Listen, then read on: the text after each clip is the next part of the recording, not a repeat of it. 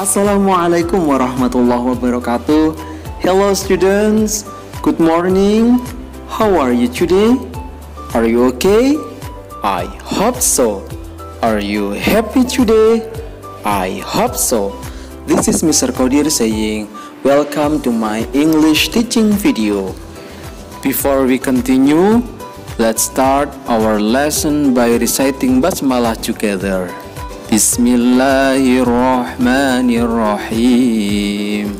Okay, students, in this lesson we are going to read the text with the title How Does Fruit Grow?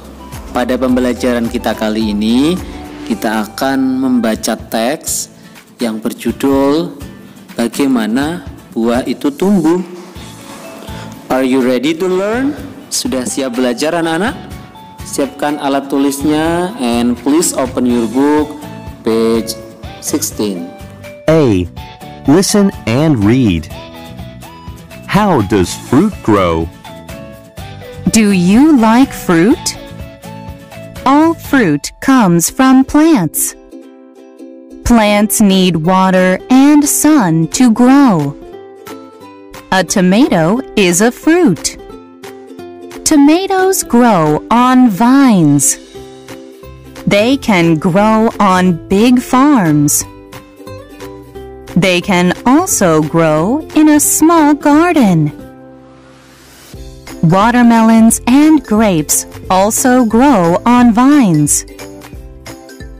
Watermelons stay on the ground because they are heavy. Apples and bananas grow on trees. Most banana trees like hot weather. There are apple trees in a lot of places around the world. Some may even be close to you. Oke anak-anak, setelah kalian tadi mendengarkan dan menirukan, tugasnya adalah membaca dan direkam suaranya terus dikirim ke si kodo ya. Jika masih belum lancar, silakan dibaca berkali-kali ya.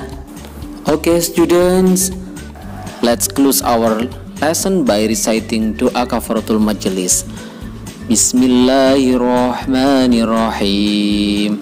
Subhanakallahumma bihamdika ashhadu an la ilaha illa anta astaghfiruka wa atubu ilaik. That's all from me. Thanks for your nice attention. The last I say, see you on next videos and wassalamualaikum warahmatullahi wabarakatuh.